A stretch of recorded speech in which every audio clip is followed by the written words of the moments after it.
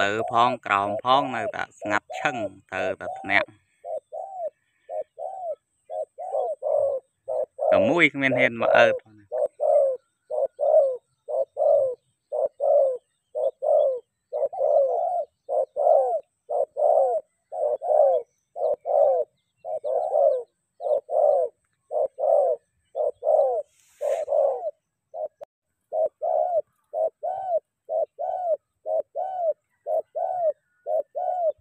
ស្ងាត់ ឈឹងណាស់នេះអត់មានឡកទេ